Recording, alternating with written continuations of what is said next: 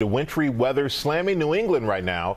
More snow is expected on top of the foot that's already fallen, and hundreds of thousands of customers are without power this morning. Morgan Norwood is in Portland, Maine for us. Good morning, Morgan.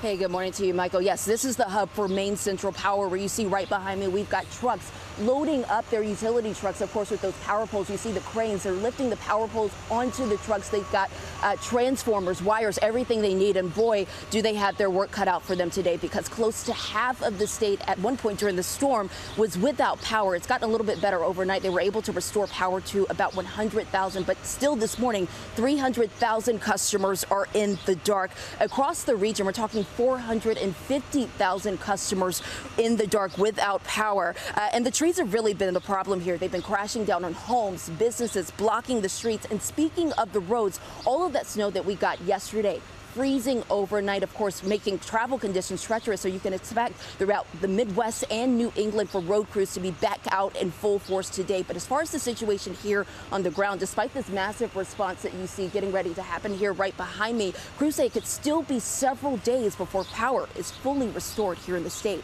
Michael? Yeah, I need to get that up and running as soon as possible, Morgan. Thank you very much. Hi, everyone. George Stephanopoulos here. Thanks for checking out the ABC News YouTube channel. If you'd like to get more videos, show highlights, and watch live event coverage, click on the right over here to subscribe to our channel. And don't forget to download the ABC News app for breaking news alerts. Thanks for watching.